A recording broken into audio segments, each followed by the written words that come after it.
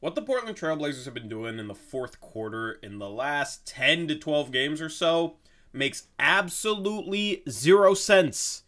Welcome back to another Ramble video. If you've never watched one of these videos, the edits are few, but the entertainment is high. Well, apparently because you guys seem to have always enjoyed these types of videos, so if you haven't watched one of these, I basically just ramble about something regarding the Portland Trail Blazers for about 10 to 15 minutes, stumble over my words, and don't really edit it out. It's a little different than the videos that I normally do, so today I'm going to be rambling about the Blazers' fourth quarter woes because they are extremely confusing and they make zero sense. I'm sure you thought the thumbnail of this video was some clickbait BS, I don't cuss on this channel. Clickbait bull. You know what I'm saying. But I promise it wasn't. I'll explain it. But first, I gotta plug some of my own stuff. Believe in Blazers podcast dropping later today talking about GP2. He's missed a few games, so I've waited to put out this podcast.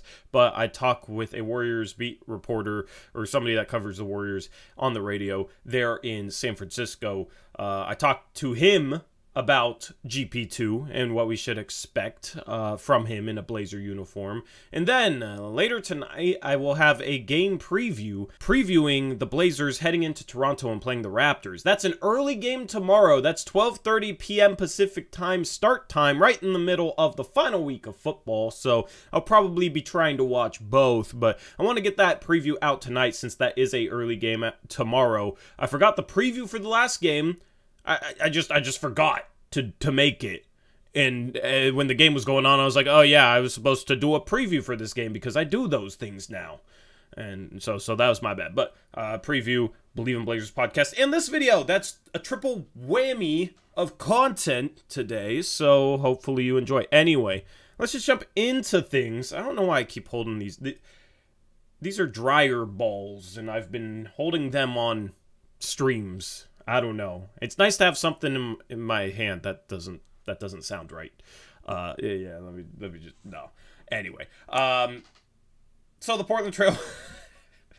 so the Portland Trail Blazers in the last ten games in fourth quarters have the 25th ranked net rating. It's a minus 10.3, which is absolutely terrible. And these bad fourth quarters have coincided with Blazers losing games that they should win at Golden State, at Minnesota, at Indiana. They lost all these games, but they were very competitive in them, and now they're 19 and 19. Take care of business in the fourth quarter, 22 and 16, and there was games earlier in the season which the Blazers absolutely choked in the fourth quarter. And that, I mean, the difference of these games are a couple possessions, and they're the difference between maybe being 23 and 15 and 19 and 19. And the difference in four games is the difference between being like ninth, looking like a playing team, and being in the battle for home court advantage right now because the West is wide open and there's a ton of parity. So it's extremely frustrating for some Blazer fans, but uh, it makes even less sense. But there's reason for optimism, all right? And I'm going to get into that. First, we just got to look at the stats because the stats don't lie. 25th net rating in fourth quarters in the last 10 games. Very, very bad. But a lot of people just assume, oh, this team can't defend. This team can't defend. Well, it's been in it's been on the offensive end, which makes no sense for this Portland Trail Blazers team that has always sucked defensively and always had a good offense. And now you got Damian Lillard, Anfernee Simons, Jerami Grant, Jusuf Nurkic, Josh Hart starting lineup. That uh, should be a good offense, and we've seen that be a really good offense at times this year. However, Lately in fourth quarters, it's been absolutely terrible. In the last six and a half minutes last night against the Indiana Pacers, the Blazers scored two points and missed their final 13 field goals in the final five minutes or so at Golden State, which the Blazers choked a lead and lost by six, uh, the Blazers were one for their last nine from the field and had four turnovers. The stats are even more staggering when you look at offensive rating in the last 10 games in the fourth quarter, as the Blazers rank dead last.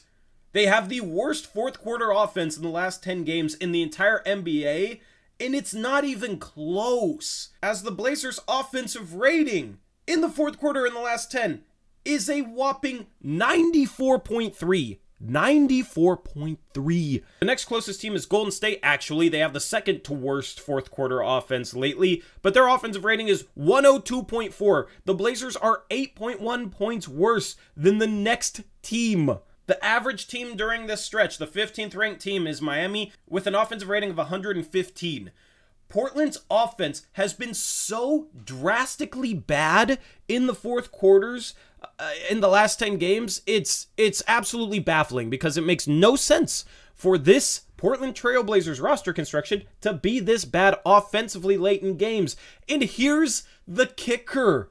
In the last 10 games in fourth quarters, Portland has the second ranked defense.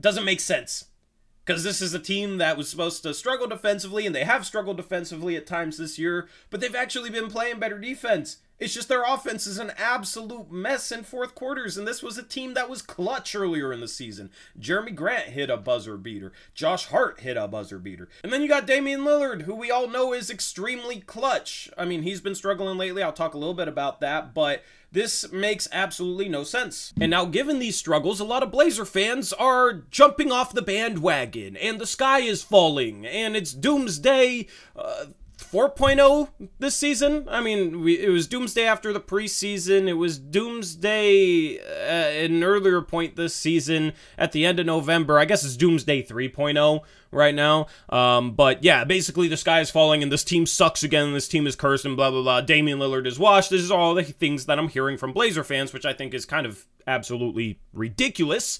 But Blazer fans seem to uh, more so than other fan bases, seem to like uh, the the peaks are higher and the lows are lower.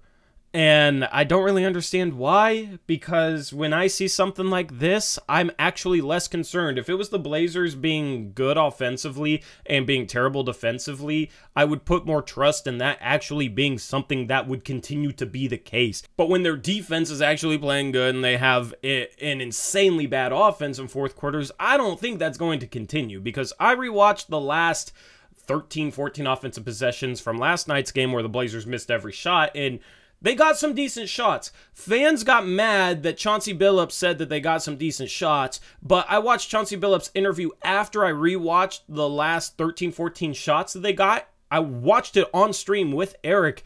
Eric agreed. They got some decent looks. They missed them. Sometimes that is actually the case. Now, uh, people don't want Chauncey saying it in a game where their offense is completely stagnant and they're turning the ball over and they're not running sets and they're not able to get up good shots. That's when it's infuriating when a coach just sits there and says, We just missed some shots or we got good shots and they didn't fall when it's when teams actually don't get good shots is when I hate when a coach says that. When that's the case, when a team chokes a game in the fourth quarter and then the coach comes to the podium or comes up to the interview stage or whatever and says, "We just missed some shots." that's when it's frustrating because no, you're not getting good shots. Of course, you're going to miss shots that aren't good. But if a team's actually getting good shots and they're not falling, then a team's still getting good shots and they're not falling. That's just the reality of the situation. Um, that's the thing is you can't just rail on a coach for saying we got good shots and missed them because sometimes that is truly the case. I think that was the reality of the situation last night. Um, I don't really know what else Chauncey Billups could have done outside of maybe design a different set instead of ISOing Jerami Grant against Aaron Nesmith in, in the final six minutes. But it's like there's a possession where Jerami Grant had a whole side of the floor against Aaron Nesmith and elected to shoot a face up contested 15 footer that he missed. And it's like, that's a good matchup for Jerami Grant to attack, right? Aaron Nesmith, smaller than him, playing the four. He's not a four. He's a shooting guard, small forward type of guy. Jerami Grant just needs to put his head down, get to the rim. If he draws an extra defender, then he had Anfernee Simons to kick two for an open three. And instead, he elects to shoot a mid range fadeaway. And people can sit here and say, oh, bad Chauncey, that's an ISO possession, and look what shot we got. It's a bad shot, it's a 15 foot mid range fadeaway. But Jerami Grant just got to go downhill and make a play there. So when I rewatched this offense, at least yesterday, guys weren't making plays that should be making plays. Jerami Grant has been phenomenal all year. Damian Lillard, I know people are saying he's washed, but he's still having a good season. Statistically, he's pretty close to his peak uh, seasons ever, and that's with this shooting slump that comes after he sprained his shooting wrist. So that could still be bothering him. I know I know he says he's 100%, but he's not going to say something's bothering him when it is. You know, he kept quiet about the core injury for the most part for 6 years, right? Uh, so I don't know if Dame's 100% healthy. Shooting wrist might be bothering him. We've seen him miss five free throws in the last two games and not shoot the three ball well either, which makes it even harder for him to get downhill and drive because he's not pulling the defense uh, away from the paint like he normally does. So, uh, you know, there's a, other things that go into this, but he's not making the same plays we're used to him making. Anfernee Simons has been hit or miss lately shooting the ball. Jerami Grant has been good, but in the fourth quarters, close in late game situations, he hasn't been as good as he's been earlier in games. He's had a couple phenomenal first halves and things like that. So uh, these guys are guys that you expect to make plays and to uh, generate good offense, better offense than an offense with an offensive rating of a hundred, uh, not not even a hundred. I'm so used to saying a hundred for offensive rating you wouldn't expect these guys to lead an offense to an offensive rating of 94 in fourth quarters in the last 10 games. So that shows you that A, these guys are underperforming. B, there is some blame on Chauncey. He has to figure out a way to get maybe a layup here or there, maybe get Jusuf Nurkic more involved because I feel like Nurkic hasn't been involved enough in late game offenses where it's just like, okay, well, we're going to rely on our top three players and they're not coming through. Some of it is uh, Dame and Jerami Grant not hitting Nurkic as a dump off option and then missing shots around the rim because there's a rim protector coming over. I think they need to do a better job of dumping it off to the big man when that rim protector slides over onto their drives. There's just a bunch of things that go into the Blazers offense being so bad in the fourth quarter recently that you can't blame any one player or person, but too many Blazer fans sit here and try and always make it about one or two guys. And they sit here and they chase a narrative.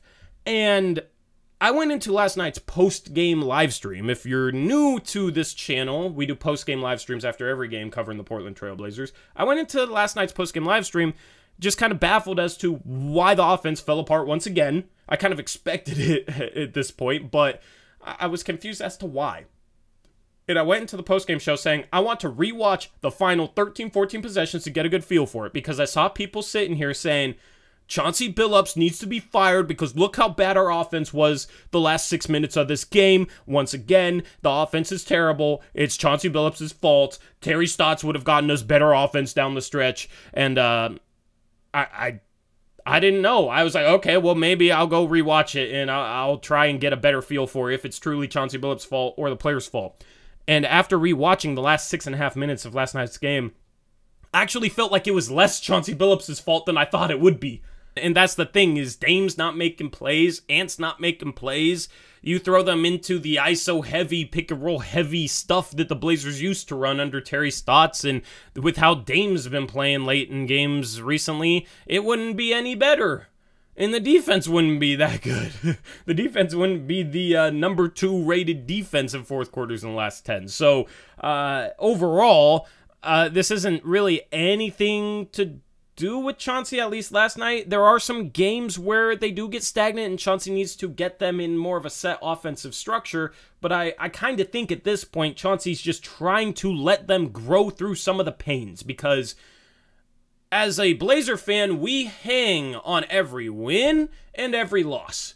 Oh, we won the game. Okay, great. We're going to go into this post game live stream and we're going to have a good time. Oh, we lost the game. Okay, well, we want to hear Eric Brandt rant right? That's how we kind of operate as fans. But as a coach, I feel like Chauncey Billups is sitting here looking at it like we need to learn how to play uh, out of freelance situations where it's not necessarily a set offensive structure, but guys know where to cut, where to set screens, what shots to look for, what reads to make, what passes to make, and that sort of thing. And the good teams in the playoffs know how to play in those situations because in the playoffs, teams will take away your sets. Teams will game plan for your sets. Teams will shut them down. And all of a sudden, your set falls apart, and you got to be able to create out of those sort of situations. And you got to be able to do more than just isolating this those sort of situations. That's what separates the good playoff offenses from the bad playoff offenses. That's why in the past Portland has had good regular season offense and then in the playoffs their offense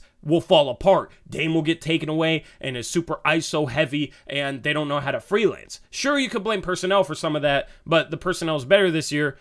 For whatever reason, though, they still are struggling at, at playing off of each other and playing in freelance. You can tell that this team is overthinking things and they have to think about where to cut and they're slow on their cuts on some of their off ball screens. A lot of times they end up just standing around looking at the ball and uh, it's somebody having to isolate because there's no movement anywhere else.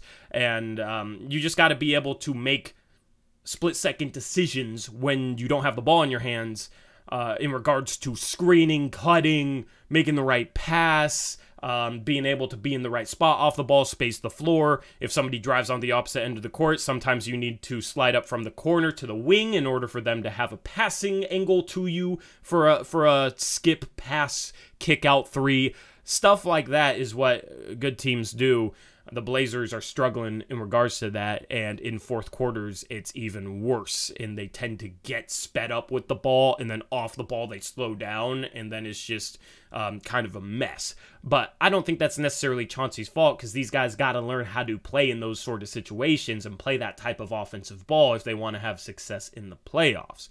And uh, it's a little discouraging that there doesn't seem to be progress there. And maybe Chauncey's not coaching it right. I don't know. Sure, if you think um, you know Chauncey's not doing a good enough job coaching these guys on how to play off each other at a freelance situations, then that's a valid criticism. But going back to the criticism of Chauncey, the problem is a lot of the criticism isn't actually based on anything, is what I've noticed. It's just Chauncey Billups sucks. Look how bad this team is playing. He sucks. He should be fired. Uh, this, that. I hate his post game press conference. There's actually people tweeting out his post game press conference from yesterday, and it was only a four minute press conference.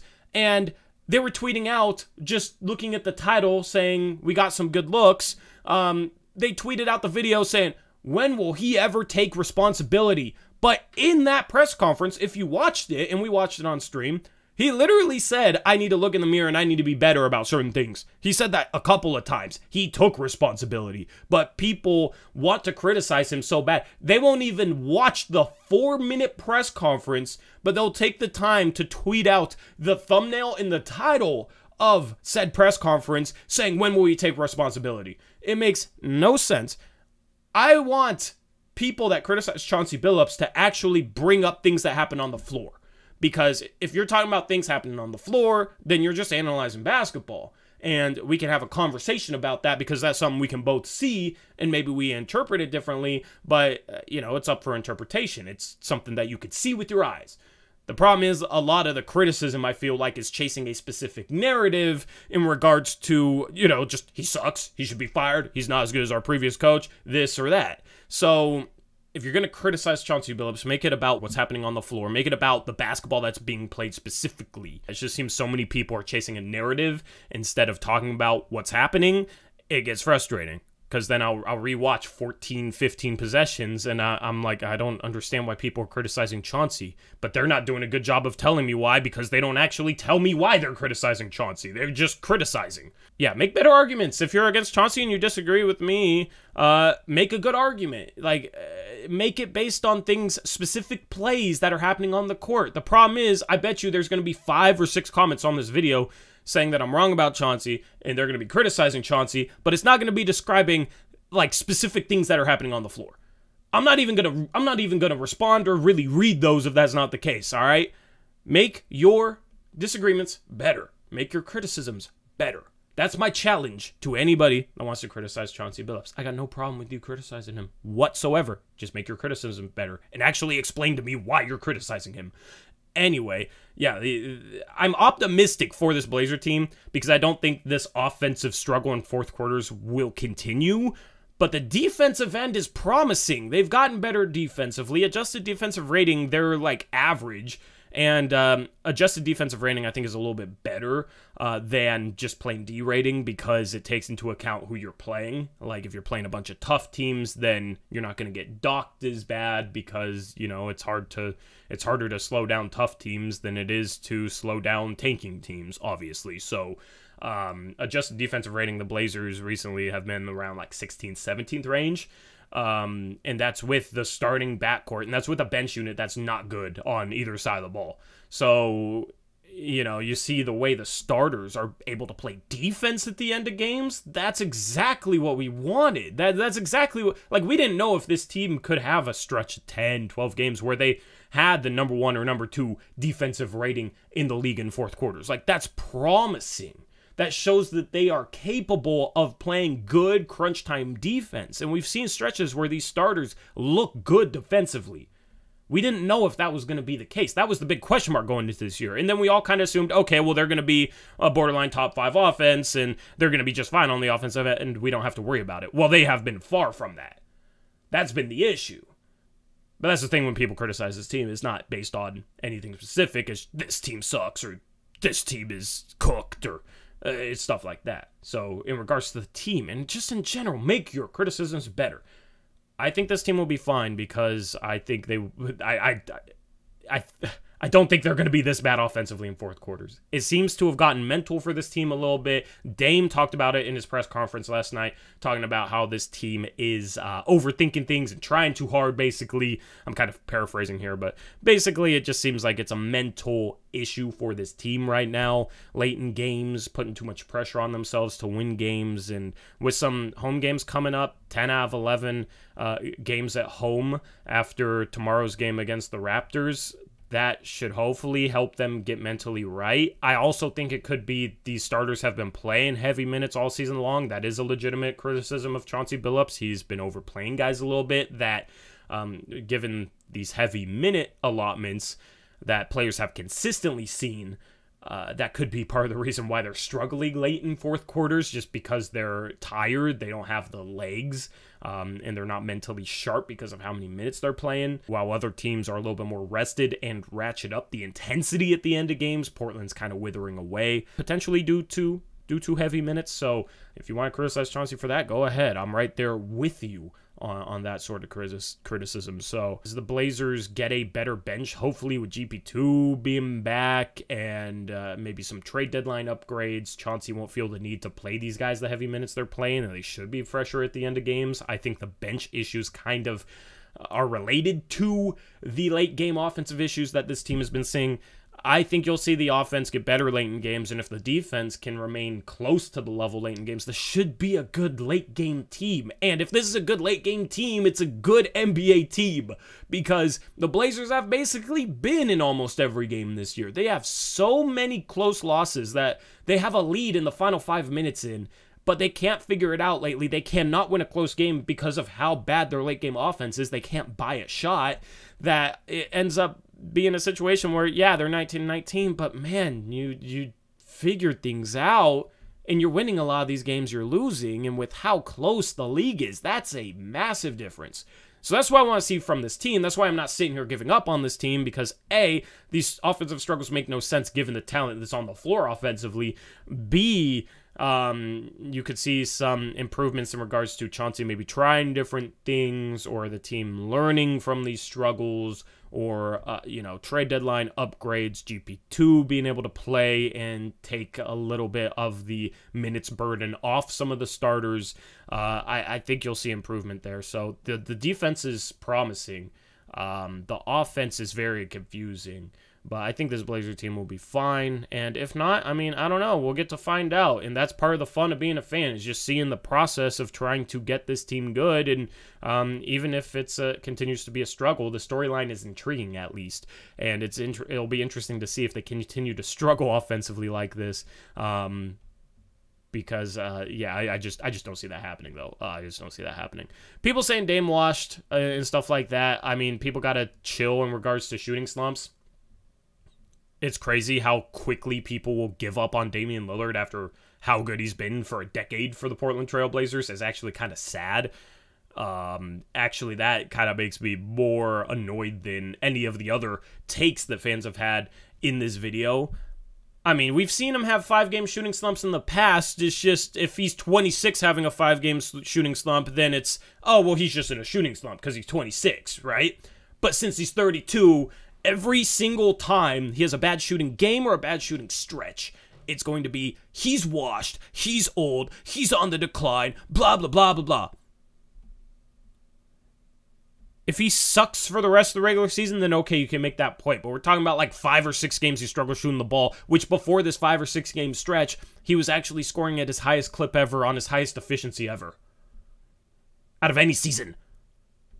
So stop overreacting to one or two or three or four or five games.